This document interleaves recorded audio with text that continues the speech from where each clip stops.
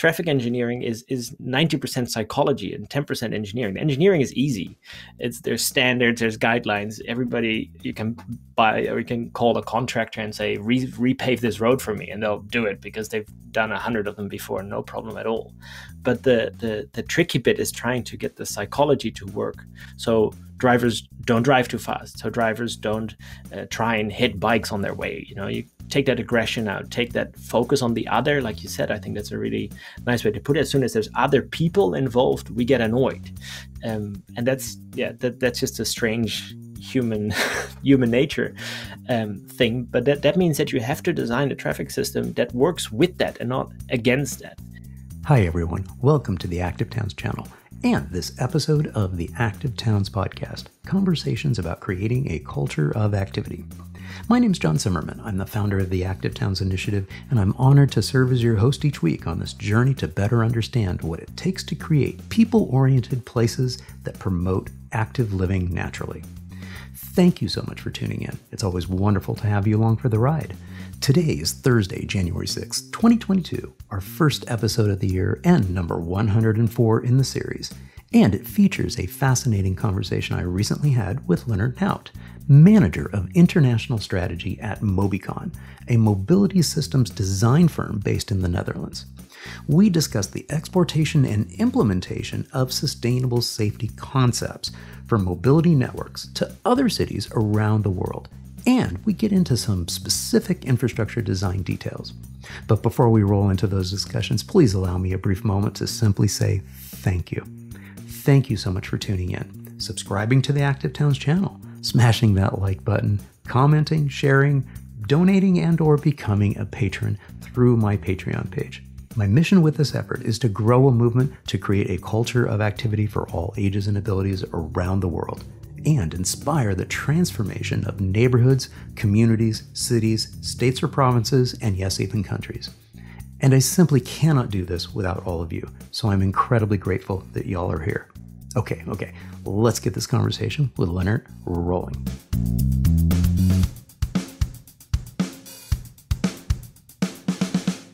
It is absolutely my pleasure to welcome uh, into the Active Towns podcast here in 2022. Lennart, thank you so much for joining me on the Active Towns podcast. My pleasure. My pleasure. Thanks for having me. And as you'll notice on the scroll here, we uh, we've we, we have your uh, sort of adopted a nickname of Big Rock, and, and that's courtesy of uh, our good friend, uh, the American Fietser, and uh, uh, Brandon Lust. And he's a past uh, um, guest on the podcast, and, and this is where you got that nickname from. Why don't you tell us a little bit about that nickname before we dive into more of a, a formal introduction of you? Yeah, yeah, that, that nickname came about. I think it was from the traffic calming webinar. Um, and the big rock doesn't necessarily have anything to do with me personally, but it is my my personal um, belief that traffic calming or managing traffic flows in, in towns and cities, people always think it's expensive and complicated and oh, how do we technically solve this or how do we do this?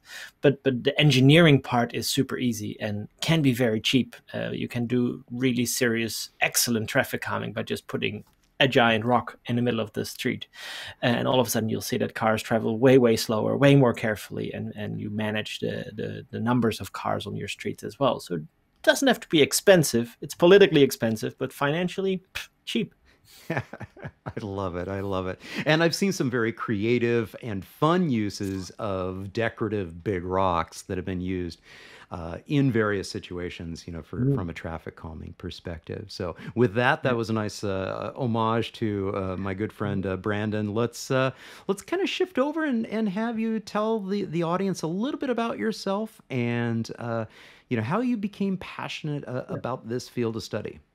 Mm.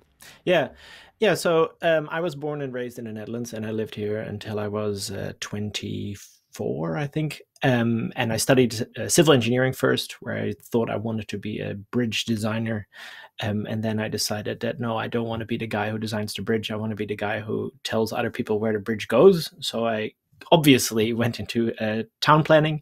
Um, and there I studied for four years in the city of Groningen. Uh, and during my studies, the word bicycle didn't really uh, surface, even though it's a city with the highest bicycle mode share in in the world. I think even. Um, and that was really yeah it wasn't really on my radar at all um, but what happened is I, I moved in my undergrad to uh, new zealand where i studied for six months and really loved it loved the city uh, where i studied um, really enjoyed the experience um, met my my now uh, a partner there moved back after i finished my master's and I, I when i was living there i just felt that something was missing out of the equation um, I found myself walking very long distances to the supermarket or uh, driving to a large mall, which was, you know, had a novelty factor at first because it's not something we have a lot of here in the Netherlands. Uh, but that novelty wore off pretty quickly, and I just realized that there was that that medium distance that was just too long to walk uh, and too short to drive or too too cumbersome to drive. And there was no real alternative because I, I didn't really feel safe riding my bike uh, around the city it's pretty uh, well very car oriented even in the in the residential neighborhoods.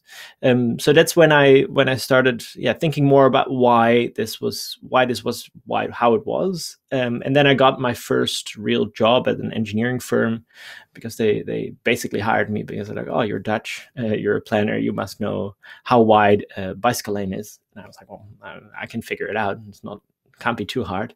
Um, and from there, I started designing uh, little safety improvements, little tinkering with some some schemes, and that grew into more substantial projects with network planning, bike way, bikeway design, separated bikeways. I started investing in, and that's how I slowly rolled into the the world of, of bicycle planning, really uh, with my next job being more uh, strategic and network planning, also still some design aspects, but um, slowly trying to make my way through the decision making tree, understanding how a city operates the way it operates and why it's so hard to to ride your bike in some cities.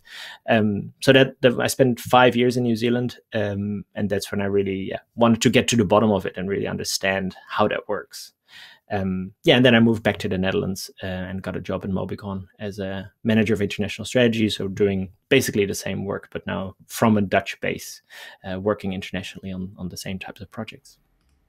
Fantastic. Well, that makes a lot more sense now. Uh, your your international orientation within the organization, and and Mobycon is is is quickly becoming a presence here in North America with with two separate offices.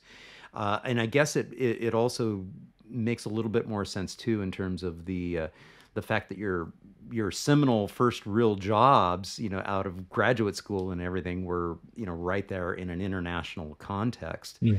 So it, it, so you started yeah. to actually appreciate and see what was special about Dutch design and Dutch infrastructure and what you grew up in uh, from the eyes of, of, of a different country. Yeah, so. yeah, it's really the the goldfish analogy, right? Once you're in the in the in the fishbowl, you don't really know what a fishbowl is or why why it's like that and why it can only swim in circles. Uh, but when you're out in a big ocean, you're like, hey, that fishbowl was kind of nice and safe. um, how does that work, and how do I get back in? Um, yeah, that that analogy really worked uh, for me personally. Definitely, it's uh, it's it's launched my career in this in this world. Yeah, yeah. And how long have you been with uh, Mobycon now?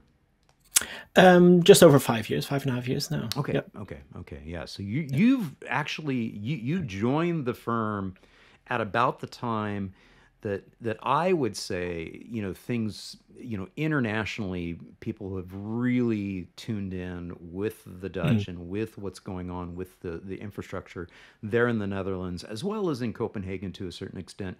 Um, really turning to, you know, especially the Dutch, really turning to uh, them and saying, you know, help us, bring us along. yeah. and yeah. and it, it's not to say that it wasn't happening before. Um, I think our very first Think Bike uh, workshop mm. that we had here in Austin, Texas, was you know, a little over a decade ago. And so mm. now we're actually seeing on the ground, you know, the, the the results of some of those earlier effects. But I think it's really ramped up quite a bit in the last, yeah. you know, five six mm. years. Mm. I mean, that's my assessment. Is that you know sort of what you're seeing as well? Totally. Yeah, yeah, definitely. Um, it's it's taken the Dutch quite a while to understand uh, that we were sitting on, on gold and that other cities and, and countries really needed that knowledge that we had, um, even though sometimes maybe we didn't know that we had it. Um, and that appetite for for um, external knowledge, uh, not just in North America, but globally, I would say, has has definitely increased significantly in the last well, even in the last three years. I think it's grown a lot. When I just joined, it was still yeah, there was uh, was a lot a lot happening, but in the last two or three years, it's it's definitely exploded, which is great to see because it's uh, there's so much work to do, and so few people to do it. yeah, yeah, no, you're absolutely right. And uh, I reached out to you, um, you know, a few weeks ago when we uh, after you had posted some some photos and and basically really. Um, sort of like dispelling the myth that you know these concepts these dutch philosophies and these dutch engineering concepts you know they certainly can't be done outside of the mm. netherlands. I mean the netherlands is very very special obviously. You know it's very yeah. very flat and you know it's very flat. Oh yeah to- totally. Yeah, yeah exactly. But that's a myth. And and we have we know that it's a myth because we, we actually have some wonderful uh, you know facilities here that we can turn to. And uh, let's pull this up because this is just yeah. one of the photos, uh, you know, that yeah. that really kind of you know addresses the fact that it can be done elsewhere. So tell us what we're looking at here. Yeah, uh, well, obviously it's not very flat over there. Uh, that's the first thing I think we can notice. The, the, the town. This is the town of Canmore in Alberta. Uh, big shout out to them because they are one of the pioneers uh, in this space, and they have been. Well, we've been working with them for a long time. Um, but this is their first uh, real large size protected intersection that they built. Uh, it, it, finished earlier this year, so a few months ago. Um, and it's got basically all of the features that you would see in a, in a Dutch protected intersection uh, executed in a in an Alberta um, context. So it's not not even a, a necessarily very um, well the usual suspect kind of town. You know, sometimes we think like, oh, the progressive little or the progressive big cities, maybe New York can do it or whatever. No, this is a small town in Alberta, which is referred to as the Texas of Canada, uh, where there's giant trucks, there's a lot of snow, there's uh, well terrible weather parts of the year. It's a ski town in winter, it's a resort town in summer. Uh, pretty high volumes of traffic, but they still um, through well the whole range of good strategy, good policy, and then and then well not to toot my own horn, but I think it's good design. Um, they did manage to implement a very innovative um, um, intersection that's still large. It, uh, it's still you know it's not a small intersection, but it works, uh, and it's a it's a Dutch intersection at a Canadian scale, which is I think a fantastic example and one of the projects that I'm definitely most proud of. Yeah, and, and as I'm scrolling through and looking at the, mm. the these photos, I'm I'm seeing something that looks rather familiar to me because um, here in the city of Austin, um, you know, they have also uh, adopted the the Dutch red in in much good, of the, the bicycle network, and so it's cool to see that. The, the only thing that that mm. just I, it pains me, and we have the same thing uh, here is that they have figured out how to do the Dutch red in the concrete, but when then it comes to the asphalt, it just stops. yeah, yeah. Although in um, that was also a design feature that, that actually matches uh, Dutch design guidance. If there's no bicycle priority, then the color mm-hmm. changes. If bicycles do have priority, uh, if the lights are off or whatever, mm-hmm. um, then then you would have red asphalt. So we, we actually designed it on purpose uh, this way. But I agree. Otherwise, the, yeah. at all the crossings, it is nice to have the continuous red. It, it does look beautiful. yeah, no, it, it does. It does look beautiful when it's that way. Yeah. So, I mean this has to bring you a fair amount of pride to be able to see this come to fruition in North America. Talk a little bit about that. Yeah, yeah, and of course, it's I'm I'm not the only one who's worked on this. This was a large uh, team effort and and a big um, compliments to the, the, the detailed design engineering firm as well, uh, whose name I accidentally forgot at the moment.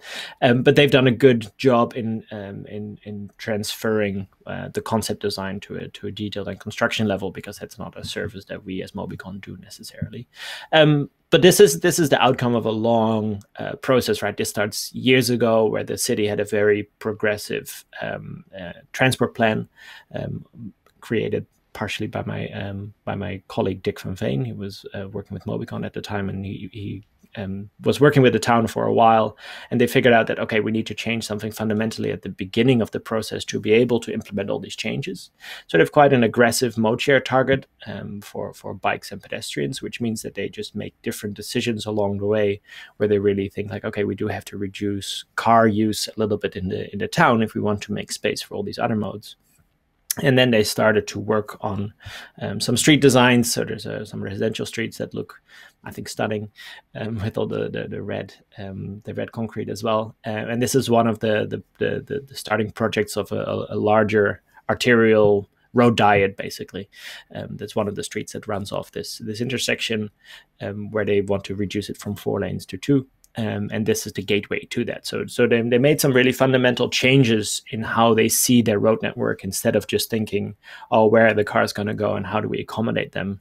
They, they're taking a more proactive approach and saying, no, we don't want the cars to go this way. We want them to take another route uh, around the back into town. So we're going to actively squeeze some of the traffic out of here. And that's what you see now, right? The, the, the feedback uh, from some of the people is like, oh, we can't turn, or it's really hard to turn left any, uh, because it's, you know, one lane less or, or it's like we're talking you know a minute delay or something.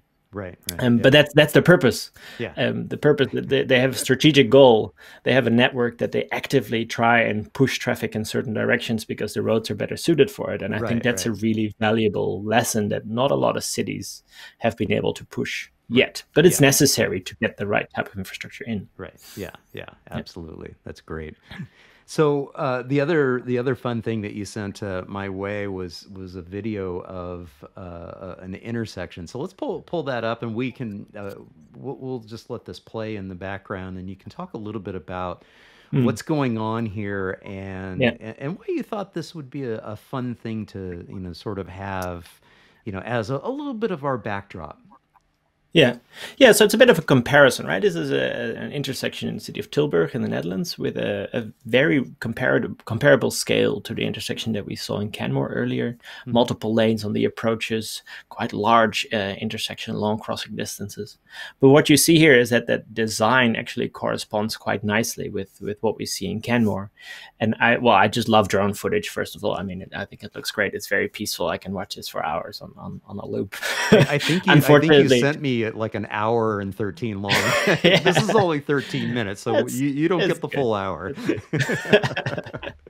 but it's so it's such a peaceful uh, peaceful view from the top. It's very uh, you, and you can really see how it operates. And I think some of the key features that that make this intersection work so well is so nice to see uh, from a drone footage instead of just satellite imagery, because now you can actually see how people behave, where do people ride, how do people cross, who goes first, etc., etc. Right. Um, and that that makes it uh, one of the videos that we now use in our uh, in our trainings quite a lot because it's right. it, it's just yeah you sit there and watch it and be like ah okay so that car goes first and then ah these people yeah. on the bikes that are approaching from the north. They wait a little bit in front of the car where you see at the top right.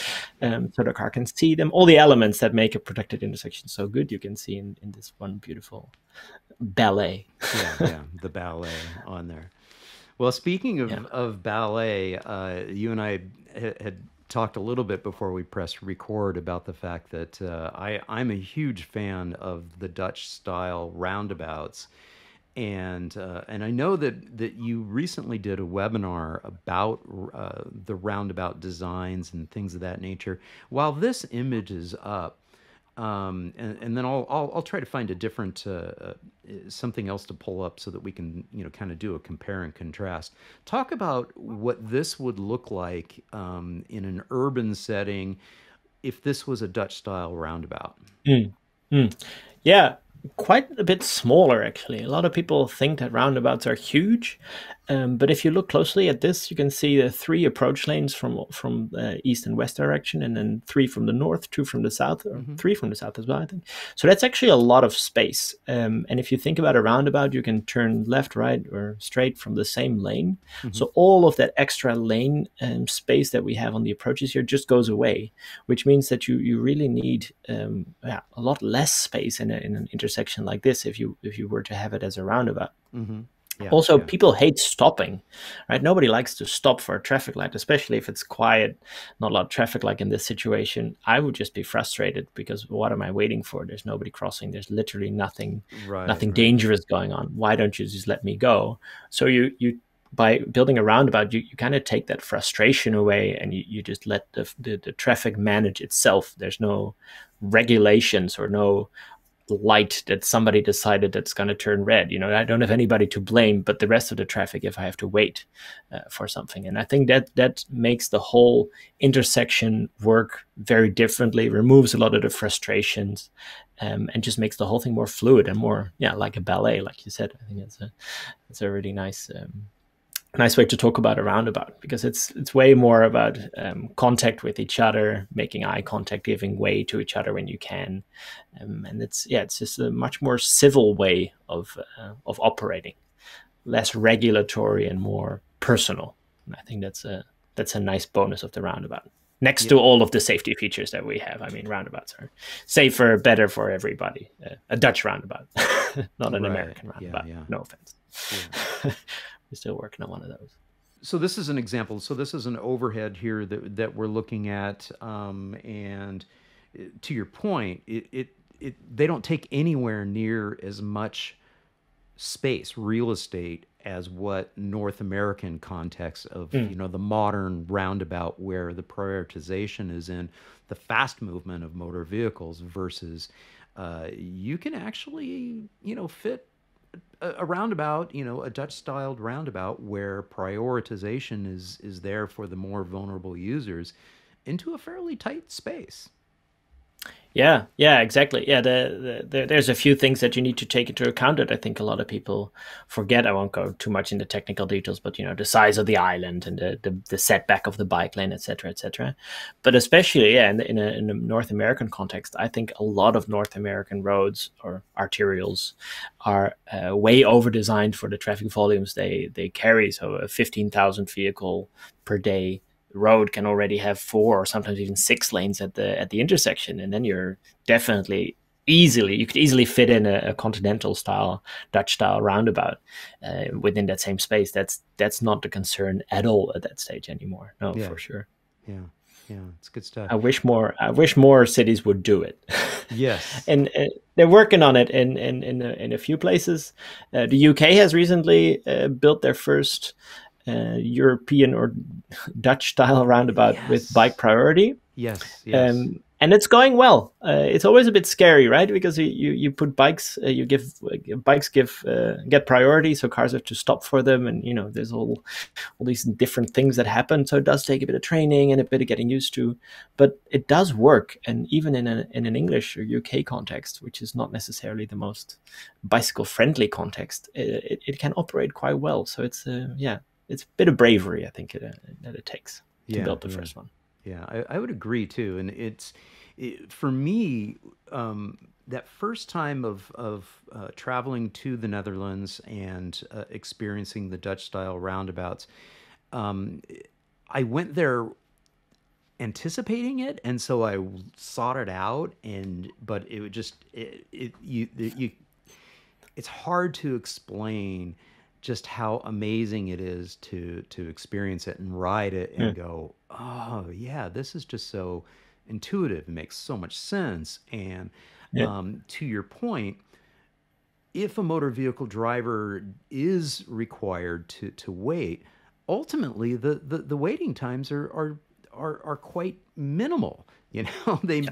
you know yeah. it's unless they happen to be in a situation where the the bike and pedestrian numbers are so extreme mm. to which you know there would then be a, a huge queuing up of of motor mm. vehicles and maybe that's not the right treatment for that particular area um, I don't know, but the the point my point is is that it it works quite well, and there's this, a certain amount of uh, forcing people to make eye contact and communicate mm. and and be able to navigate in that environment. Yeah. And since all the speeds are incredibly slow and low, mm.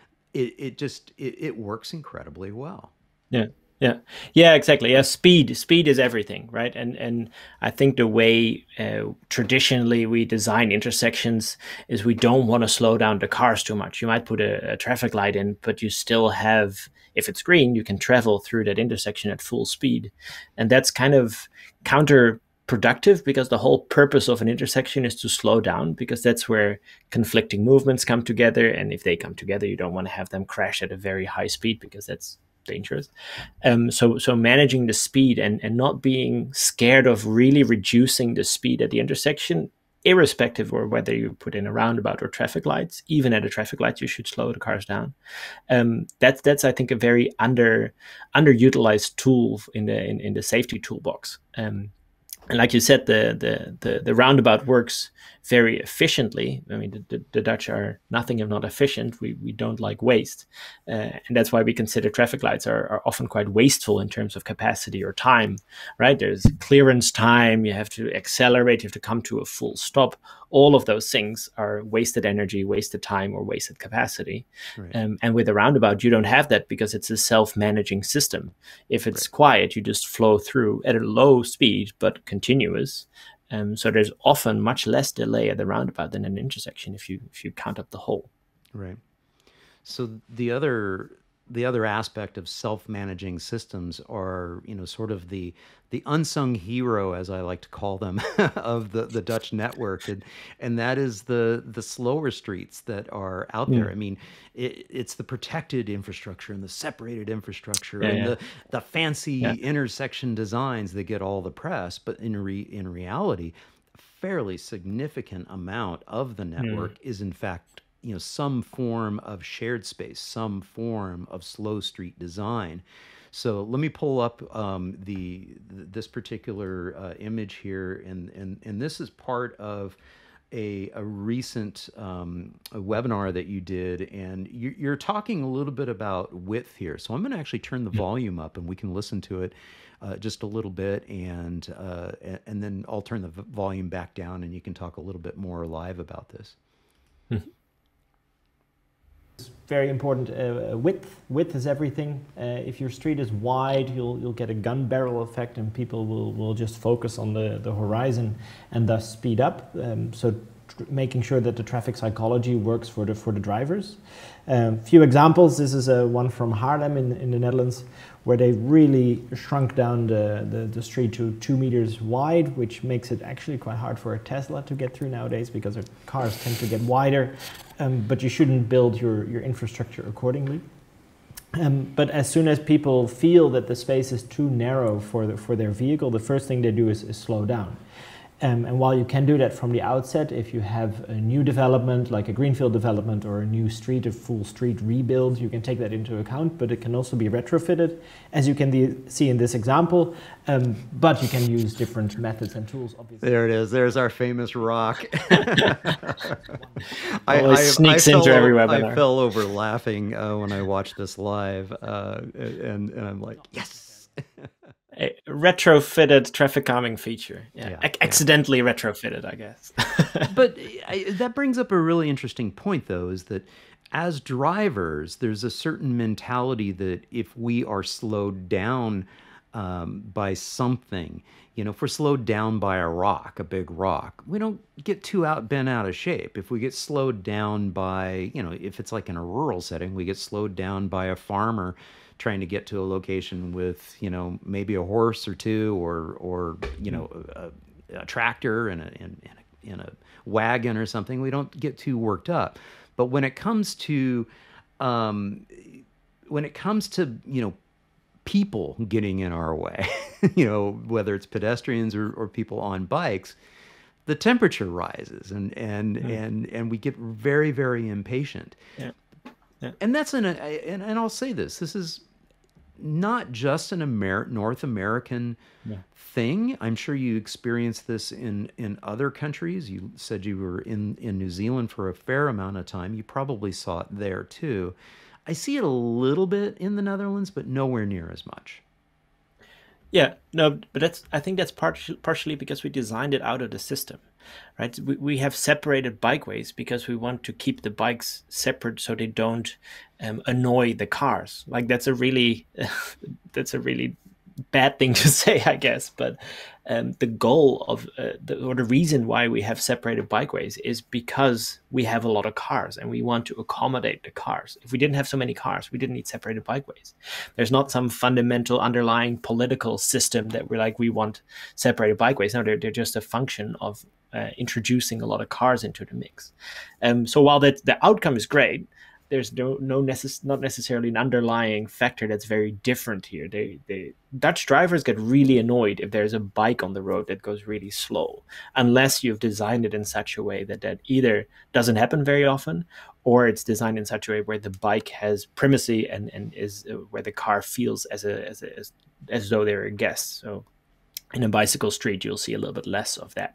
But that's all that's all that's all psychology right, right. traffic engineering is is 90% psychology and 10% engineering. The engineering is easy. Right. it's there's standards there's guidelines. Everybody you can buy or you can call a contractor and say Re- repave this road for me and they'll do it because they've done a hundred of them before no problem at all. But the the the tricky bit is trying to get the psychology to work. So drivers don't drive too fast. So drivers don't uh, try and hit bikes on their way. You know, you take that aggression out, take that focus on the other. Like you said, I think that's a really nice way to put it. As soon as there's other people involved, we get annoyed, um, and that's yeah, that that's just a strange human human nature um, thing. But that that means that you have to design a traffic system that works with that and not against that. And that's why I think sharrows are such a stupid thing. well, and, and, and let's go back over to our, our video here and uh, and press play and and and look at this. Uh, so talk about design. You know, again, paint is not enough. Walk us through what you're talking about here. Yeah, this this this is purely psychological as well. It's it's when you're when you're uh, when you're driving and you you have to if you're really active or you're really conscious of where you're looking and what you're looking at um, if you if your street is designed in a very linear way with with long lines or, or um, paint, um, you're always drawn to the horizon, to the the, the dot on the horizon. Um, same with intersections, where you have the traffic light on the other side of the intersection, um, if, if you paid attention on the on the um, the Canmore intersection, the traffic lights are actually at the stop line and not on the other side. It's, I think ah, the first okay. intersection in in uh, North America that has that. But that's it's a small detail. Or it may sound like a small detail, but it's hugely important because if you think about it, if I'm looking for the light, I'm having my eyes like laser focus on that light, waiting for it to turn green. But if you put the light further or closer to the to the stop line, you have to look towards the left and the right and who's on the left and the right. That's where the bikes and the pedestrians are and that's right. where they're coming from. Right. so you're you're you're playing with people's vision to make sure that they're looking in the right direction. And and that's i think a, a different attitude. We're trying to make it easy for people to be safe. You know you don't you don't want to force people to feel safe. You want to make it normal and easy for them to to do that Right. Um, yeah. Yeah. If you if you if you're a, a, pedestrian waiting to cross, you're already within a line of sight of that right. driver turning right because right. they're in the same field of vision. Yeah. Yeah. It's the mm. details. It's it's a lot of details. You, yeah. you gotta get the details right. You know. It's yeah. Yeah. Yeah. Yeah. Yeah and that doesn't mean that you you can't make huge improvements without getting all of the details right. I mean, it's a long struggle. Oh yeah, uh, perfection is the enemy of the good, and I think there's there's been you know tons of protected intersections built that if we look at it from a Dutch lens, we're like, mm, you know, details are not quite right. Right. Um, right. But they're still they have been hugely important in getting the message across, getting people to think about it and experimenting with their own way. Because right. at the end of the day, you can't just copy the Dutch. You have to find the North American answer to the, the same challenges. And I think that's that's right. the point where we're getting to now. Yeah, yeah, so, yeah. Well, yeah. and, and one of the things it's been a reoccurring theme that, that I've talked about um, in in in in sort of highlighting the Dutch network system is hmm. is also the fact that y'all are constantly testing and, and trialing and piloting and looking at stuff and putting stuff out there and going, eh, it's just not working quite well. Or it worked well at a certain volume and now it's it, it's being overwhelmed. Yeah. And so we have to redo this. And so that's one of the great things that that that I try to um, emphasize and try to talk about is just how incredibly open to continuous improvement. Mm. Um, you know, the Dutch system really yeah. is. So yeah, for sure. Yeah, and that's I think that's a big uh, that's a big difference. That's I think partially um, there's big differences within the Netherlands, right? I mean, the, the situation in Amsterdam and Utrecht, uh, where there's huge numbers of, of cyclists, like crazy. Um, they're off the charts, literally. So they had to figure it out for themselves, um, and they they follow the same guidelines that every other town and city in the Netherlands follows. Uh, but they are guidelines, and they're they're they're lit the first the CROW book. If the, the, some of the more avid um, bicycle planners and designers will maybe have a copy in their in their shelf. On the first page, it says this is a guideline, and we uh, you are required to use your sound engineering knowledge um, to use and apply these guidelines in a in a good way. So there's no such thing as a standard. You're not going to be um, held accountable if you don't meet the standard and something happens. You know, that's a it's yeah. a very different culture of, of engineering and and designing, and that's you know that's we're not going to change that overnight in the in the US, but um, that that's that does help uh, fostering that that innovative um, aspect of, of traffic engineering, which it, it does. Yeah, there's quite a lot of innovation happening now, though. In the last well, probably the 20 years before this, not mm-hmm. so much because you know the system we had was working quite nicely. Right. The separated bikeways weren't overwhelmed, um, but currently here and in Utrecht, I mean, 35,000 bikes a day on a street. Like we don't have a, a guideline for that, so they have to figure it out. They're just like, well, I don't know, maybe maybe right. make it wider. Okay. yeah. yeah. Yeah. The the funny. other there was that one intersection there in Amsterdam where uh, the queuing that was happening from the number of cyclists, you know, at that particular uh, light, and mm. and they they went back and looked at it, especially from above, and were like, you know what, if we bulbed this out in this area, we could get you know X number more to be, you know, it's just yeah, like thinking through, think, thinking yeah. differently, taking that opportunity to to not be so steadfast, fastly mm. um, married to, you know the MUTCD the manual, standard. you know, yeah. the standard yeah, yeah. or this or that. And and by the way, I, I do have a copy of my Crow manual, and I love you know going through there and taking a look at stuff, and and uh, it, it's truly fascinating. Now you had mentioned we or we we both mentioned the details are are are critical. So let's pull up this next slide. So because this is part of that uh, that uh, webinar that you were doing in designing streets, and the de- devil is in the details. And I'll turn the mm. volume back up for just a little bit and we'll listen to this here. Right. And some of those details are in the, in the paving styles, for example.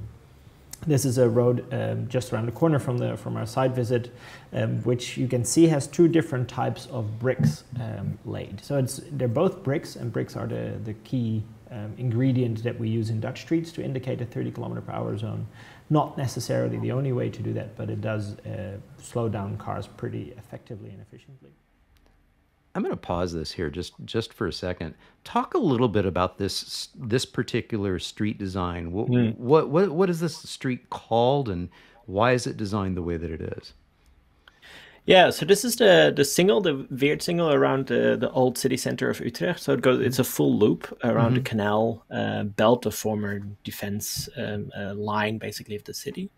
And now it's uh, well, there's there's multiple aspects. It's an old street, right? You can see old houses. It's been here for for ages, and it was always, or the last few decades, has been in in, in red bricks. Mm-hmm. Um, the city really wants to turn it into a bit of a bicycle ring to um, to take some of the pressure off the city center and, and allow for uh, more bicycles to, to go around the city instead of through the middle. Mm-hmm. Um, and this this part of the the street is actually resisting um, turning it into uh, asphalt bike lanes with a brick center, which is mm. the treatment that they've used further down because they like the heritage value of the the bricks. Right. Um, what, but what you can see in the bricks is that the the ones in the middle they're quite um, bumpy and rough and big gaps in between, and the ones on the on the where the bikes uh, go are quite a bit smaller, more tightly uh, laid, so much smoother experience. Which is right. yeah, it's it's like you know if you would design or if you don't look at this very carefully you think like oh yeah brick road fine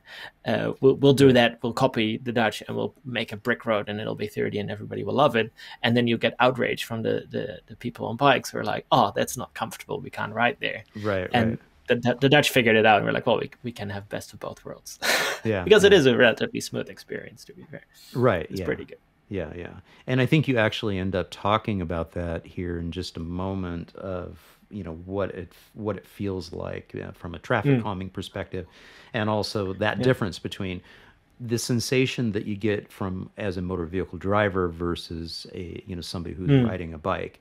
Obviously, if you're riding a bike, you don't want to be on rough cobbles. you know, you No. prefer the smoother side. So let's let's ta take a listen to this a little bit more. two different types, and that's done to alleviate some of the um, the rumbling for, for bikes. So on the right hand side, a, different type of brick, a different type, different style of laying the bricks, which gives uh, provides a much smoother surface, so an easier bike ride for the the, the precious Utrecht cyclists. um, and on the left hand side, a more rough, more rounded edge brick, um, spaced apart a little bit further, also gives you maybe a little bit more infiltration of rainwater. Um, but that's done for the cars uh, because you want them to have the friction and to have that tactile feedback when Mm. they drive too fast. Um, and that's the level of detail that I think you don't see much in um, in other Mm. countries. Well, I haven't seen it that much yet. I'll let this roll into increase the noise within the car as well. So Yep. not only is that friction and the rumbling, but the louder it seems in the car, the faster psychologically you feel Yep. you're moving, and so it forces people to slow down. Exactly. That's interesting too. Uh, you know, Melissa's talking a little bit here about the noise and that that feedback system that happens within the for the driver. Um, but it also, you know, and, and she and Chris, you know, had an entire chapter about the noise levels in cities. It also creates a, a noise factor for the ambient environment too. And so I, I think that I get the historic like and love for the brick in, in that type of setting. But then again, if the if the it's it's a trade-off right? Because if the motor vehicle numbers are such that it's you know hey i've got super insulated comfy ride here and you know whatever i'm going to blow through here. It i mean i wonder you know if there's that trade-off of the the tire noise you know and over the cobbles that you know sort of has a negative impact negative Yeah. externalities on the on the you know the residents in that area Yeah, and it, it's a very complicated trade-off because uh, with asphalt, if you take into account the higher speed of cars on asphalt, that that actually negates some of the effect. Um, but now with electric cars at 30, they don't make a lot of noise themselves. right Um, so then the, the, the noise from the wheels on the bricks is actually um, louder than the noise from the, the engine. Um, so then it becomes a whole different dynamic. So yeah, that's it's a very complicated uh, discussion. Um, but in, in general, the the noise uh, there's not necessarily a lot more noise from brick streets because the speed comes down uh, Got a it. lot. got it So it that's a, there, a yeah. There's there's a double a double trade off going on. Right, right. It's, a, it's yeah, it's complicated. yeah. Yeah, I think so uh, if we let this video run just a little bit, I, I- think I saw a little advance of, of some traffic calming devices. Uh, i- Is that worth, uh, you know, talking a little bit about? On it's a little bit Load Street? technical, I guess. Is a little it? bit technical. Okay, well, let's do it. Let's do it then, because apparently my audience loves technical stuff. Oh, good, good. we'll, we'll, we'll let this go. and a little bit of engineering to, Yeah. to get it right. Yeah, perfect. Um, and then uh, in terms of detailing, um, speed tables, they're obviously an important ingredient, and you'll see some of them in the in the in the footage as well. But the type of, of, of speed table that you use can be quite uh, important and quite a, a tricky balance to get right. On the one hand, you want cars to slow down, but on the other hand, you also want to provide um, for a pretty smooth transition for, for bikes, for example, and you don't want to have um, emergency services saying no to the whole scheme because the, the, the ramp to the, the speed table is too steep. So finding the right type, and there's a, a plethora of types of speed tables with different angles and different materials, is uh, crucial to getting the, the speed and the comfort balance uh, correctly. Yeah, so these are the four the four principles. I'll hit pause on that uh, at, at that point. Um, I appreciate that because oftentimes, you know, that's what neighborhoods, you know, sort of default and go to. And so It's just like, oh, let's put speed bumps in, or, or you know, and it's just like, uh, that's kind of like you're missing the point a little bit. So I, I appreciated Yeah. that. the speed tables are funny because they, they, they should be the last resort. Um, mm-hmm. in, if you design a street well, you don't need speed tables or not that many, maybe at the intersections to highlight the the, the, the, the intersection and the you know other directions and equality of the intersection or priority. So we don't like to use them as a first port of call, but then they're so effective. they just work so well. Um, so it's nobody likes them, but they do work well, and they're just there. They you build them once, and they just stay there. So they, I understand where, why people like them, and why people refer to them so so quickly. But getting them right is is then the next step, right? If you if you have a, a really particular um, fire department that, that really doesn't like them and you, you compromise on the type of uh, speed table for example then the whole thing is, is, is, useless pretty quickly because people just blast over them and then you've spent all that money went through all of that public consultation and you got an ineffective speed table. So that's you know that, that's a really uh, a risky game to put all of your eggs in that in that um, basket of the, the speed table yeah, that's a good point. Um, I'm going to pull up this this image here uh, just just to talk a little bit about um, the speed table concept. And uh, it, this isn't isn't the best photo to, to to use this, but talking about the continuous um, walkway, the continuous bikeway concept when you're at some of the more minor roadway hmm. situations mm. so you continue that elevation and this and, and, one of the things that that we see that I notice on many of the well designed uh, Dutch roundabout systems is that you have that elevated uh, situation at the you know it essentially becomes that speed table it becomes that elevated crossing yeah. for the more vulnerable users and then you know that really sends a, a, a a definitive message to the motor vehicle hmm. drivers. Mm. Obviously, we don't have that in this context. Uh, that would have been a much more expensive rebuild to the to the yeah. entire thing. But um, talk a little bit about that because I think that's that's a pretty. it, it is a little bit wonky yeah. and it is a little bit you know yeah. of a engineering thing. But going back to the psychology of how the design matters. Yeah, yeah, absolutely. Yeah, I, I love those little features, and a, a, lot of Dutch people wouldn't even know what I'm talking about if I if I talk about it. But mm-hmm. like the fact that we allow, like on a, on an arterial street, right, busy mm-hmm. arterial road, clearly the priority for, for all the cars. Yet we allow all of these little side streets to just have unfettered access to and from this main arterial, which is where the flow of vehicles is so important. Mm-hmm. Yet we give so much access from these side roads without them even, you know, noticing that they're transitioning because it's a flat asphalt surface and they just they just get to go. And yeah, there's a little yeah. sign that says yield, but nothing else. Yeah. So, like you said, the, the messaging um, and not relying on signage, but to to make it uh, you know make them feel that they're transitioning into a different space on those type of, of treatments is so important um, when you when you're turning off an arterial into a little side street that you know that you're crossing first into the pedestrian or the bicycle space uh, and you're now you know then it makes so much sense to give way because you have quite a you know if you have to slow down significantly you have to take a tight turn and you're like, oh, I'm going up, and it looks like a footpath. Why am I in a footpath? Oh, maybe I should give way to these people crossing. You know, that, that all makes so much more sense than when you just have well an unmarked crosswalk, which I still find baffling. Um, but uh, any other uh, paint or signage is not going to give you the same immediately uh, immediate sensation of like, oh, I'm in a different environment now. And um, at roundabouts in particular like if you have priority uh, as a bike or a pedestrian then it takes away a lot of the um, accessibility issues. Um, you can you have clear continuous uh, footway. It's super comfortable if you're walking with a pram or with a wheelchair or any rolling device. Mm-hmm. Um, and it's a super clear message to all of the drivers approaching like oh yeah i'm bumping up which means i give way to these guys because i'm in their space now. And that's uh, yeah the messaging again it's it's it's not engineering it's it's psychology because you're like oh i'm i'm invited into another space. It's not black asphalt it's not my space. Right right right and I really appreciate that. I mean, uh, my career, um, I, I, spent the the first two thirds of my career really focusing on human behavior and healthcare behavior, health promotion, mm. designing mm. systems that encourage people to to live a healthier you know life and about 10 15 years ago got turned on to urban design and transportation hmm. design mm-hmm. and how what we design out in our communities has an impact on our behavior and our ability to live a healthy, active lifestyle.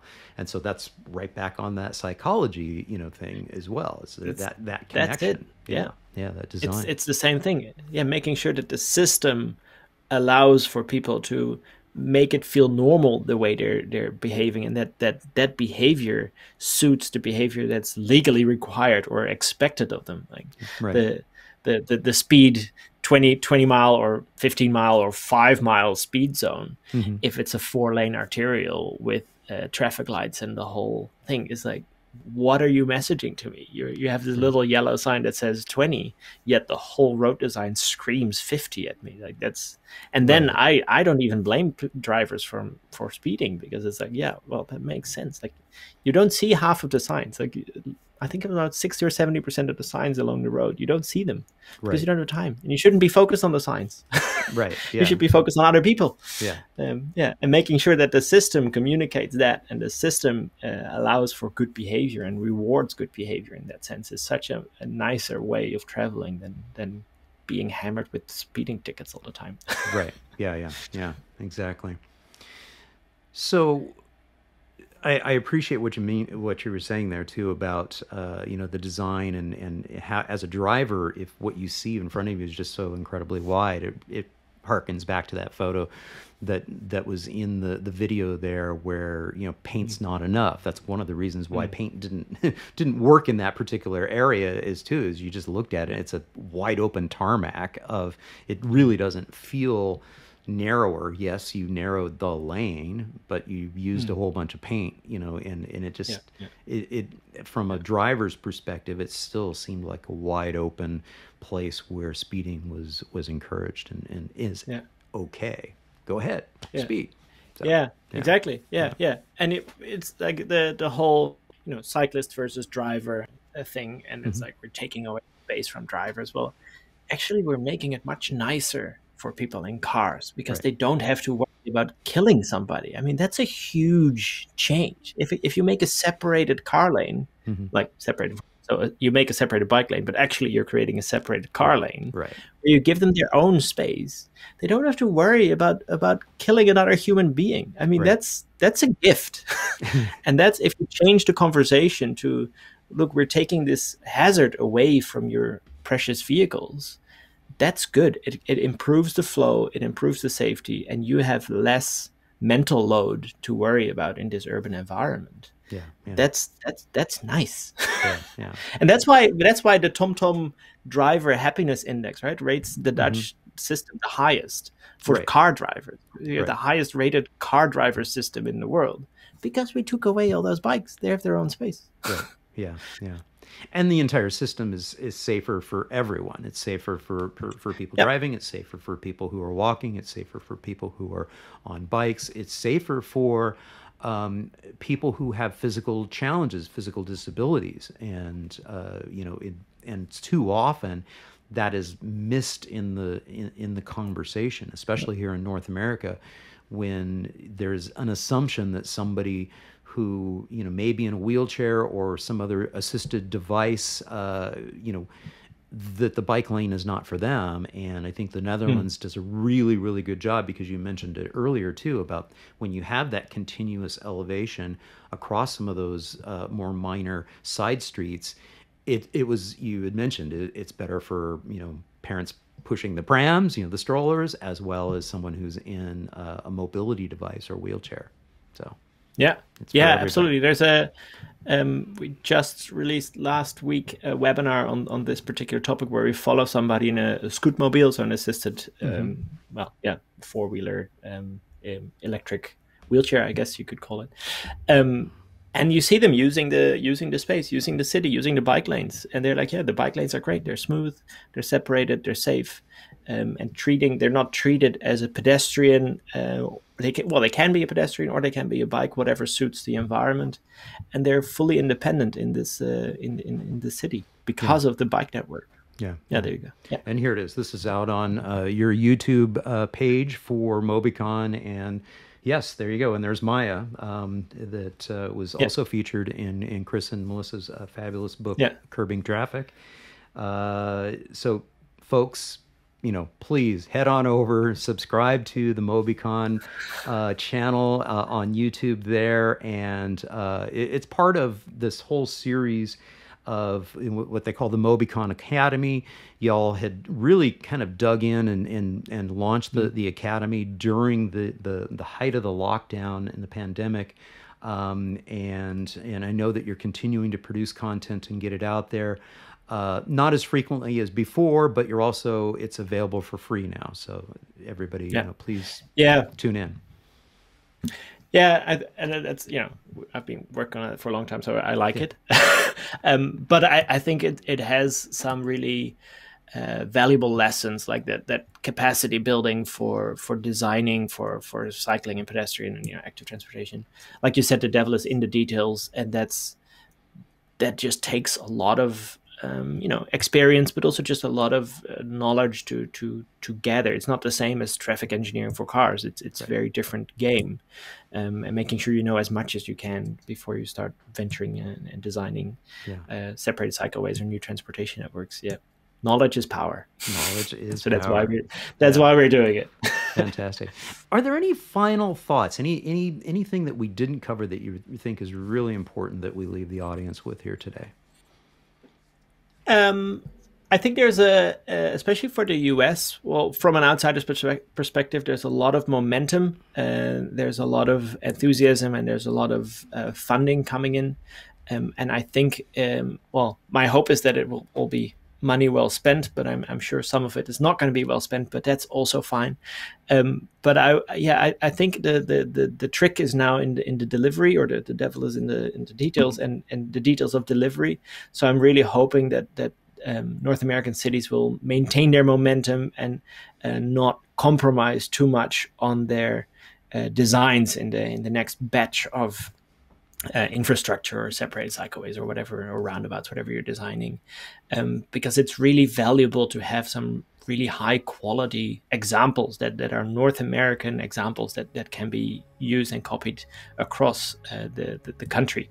And, and now is the, the right time to, to be building those and um, start moving away from the flexi posts and the, and the, and the little bollards and the orcas and whatnot and start creating more permanent infrastructure that's not just functional but also looks beautiful. So that would be my my final thought.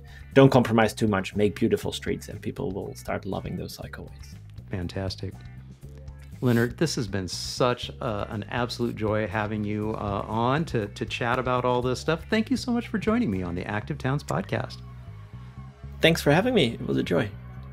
Thank you so much for watching episode number 104 featuring Lennart Nout with Mobycon. If you enjoyed it, please hit that like button, leave me a comment, share it with a friend, subscribe, and don't forget to ring that notifications bell. And yes, if you really appreciate what I'm trying to accomplish here with the Active Towns channel, please consider becoming a patron on my Patreon page or making a donation to the Active Towns organization as we strive to create a culture of activity for all ages and abilities. To learn more about the concepts that we discussed in this episode, please be sure to check out the links in the video description below or in the show notes. Well, that's all for this week's episode. Thank you all so very much for your support and for tuning in. Until next time, this is John signing off by wishing you much activity, health, and happiness. Cheers, and Happy New Year.